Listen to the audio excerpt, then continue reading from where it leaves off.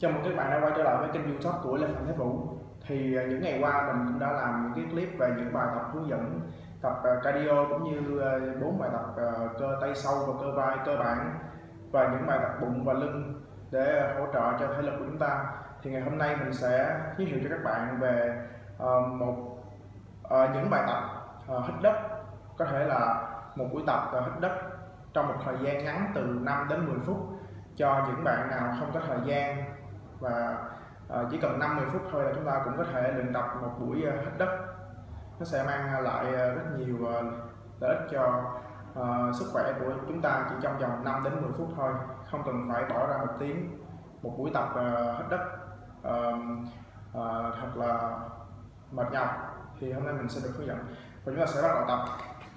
Thì uh, trước tiên chúng ta phải nhớ chúng ta sẽ khởi động kỹ uh, khớp vai xoay cánh tay và xoay ngược lại. Và chúng ta sẽ khởi động kỹ bả vai. Rồi và vai. Rồi chúng ta sẽ xoay kỹ khuỷu tay. Vì khi xoay, ờ, xoay kỹ cái khuỷu tay thì uh, khi mà chúng ta ờ, co tay lại mặt đất thì lực nó sẽ dồn vào khuỷu tay rất là nhiều. Đó cho nên là chúng ta phải xoay kỹ khớp khuỷu tay và sau đó là khớp cổ tay. Vì khi hít đất thì uh, uh, bàn tay của chúng ta sẽ trực tiếp đặt ở dưới mặt đất và phần cổ tay là phần sẽ chịu lực của cả cơ thể. Rồi sau khi khởi động xong chúng ta sẽ làm 30 cái jumping jack.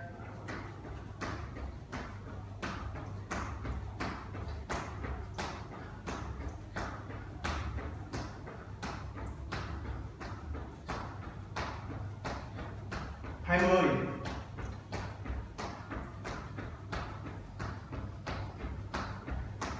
thôi. Rồi. Và bây giờ chúng ta sẽ khởi động bằng từ 10 đến 20 cái ép đất. Nếu mà các bạn nữ thì chúng ta sẽ khởi động 10 cái ép đất. Còn nếu như là các bạn nam vì chúng ta đã có sức khỏe tốt rồi thì chúng ta sẽ khởi động bằng 20 cái ép đất. Và chúng ta sẽ bắt đầu bằng 20 cái ép đất nha.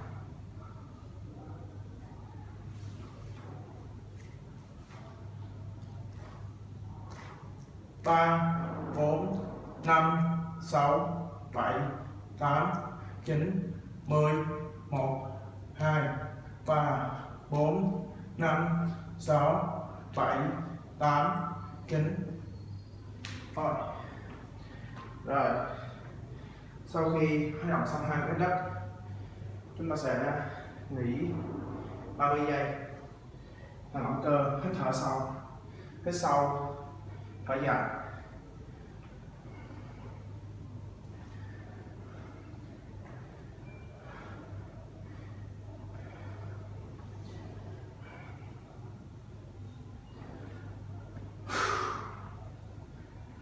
rồi, và kế đến, chúng ta sẽ thực hiện động tác archer push up hay là còn gọi là đất triệu cung thủ nha.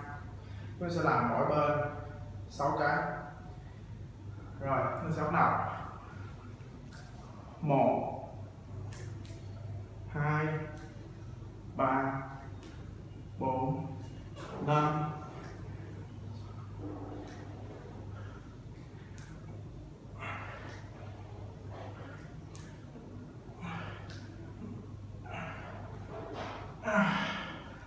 Rồi, chúng ta sẽ nghỉ 20 giây.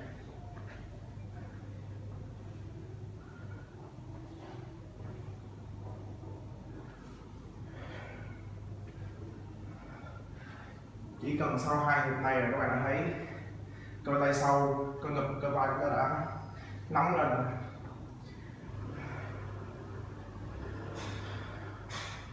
Rồi, và tiếp theo sẽ là bài shoulder tap push up. Chúng ta sẽ làm 20 cái, ok? Tay này khi chúng ta đẩy lên, tay tay phải sẽ dỗ vai trái và ngược lại, tay trái sẽ đổ vai phải. Rồi, nó sẽ bắt đầu. 20 cái rồi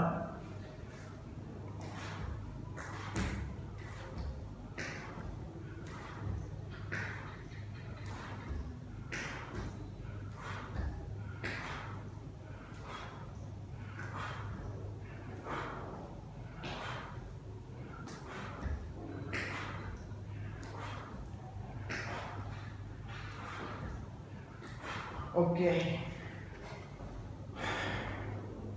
Rồi mình sẽ nghỉ 30 giây.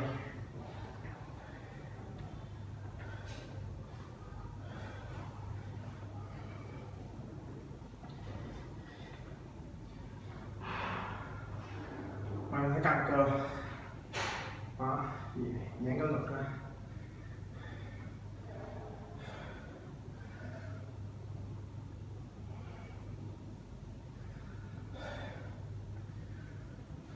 rồi. Và cái đến sẽ là bài side ra chọn shop nó cũng giống như đất thì cung thủ nhưng lần này chúng sẽ không có hiệu lực ở một bên, nên nó sẽ đẩy xuống giữa, đẩy qua trái, qua phải, qua trái, qua phải. Cứ đẩy như vậy hoài. Nó chứ sẽ không có đẩy lần. Nữa.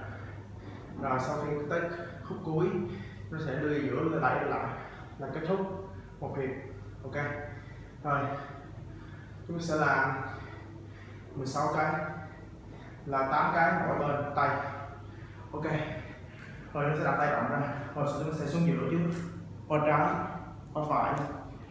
Ba, bốn, năm, sáu, bảy, tám, chín, mười, một, hai, ba, bốn, năm, sáu. Rồi vừa đẩy lên. Ok. Oh rồi.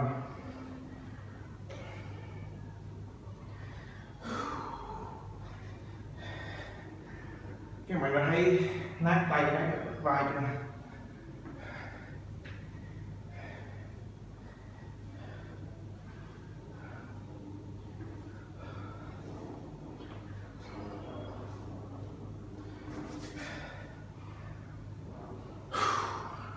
rồi. Và bây giờ là bài tập cuối cùng là bài tập tricep extension. Là bài tập cho cơ, cơ tay sau của chúng ta nó chúng ta đã đẩy nhiều rồi đẩy đất nhiều rồi. Để cho cơ tay sau của chúng ta nó bự ra nên nó sẽ gò cắt để siết cho cái cơ tay sau của chúng ta nó nép lại đó. Qua bài uh, tricep extension. Bài này chúng ta sẽ để tay cao hơn vai tí xíu. Rồi chúng ta sẽ